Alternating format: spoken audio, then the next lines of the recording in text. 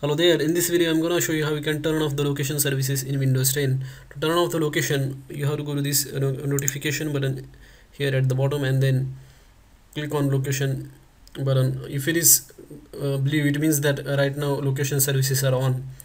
So if you just click on that it will blue color will go away and then that means locations services are off. If you like this video hit like button.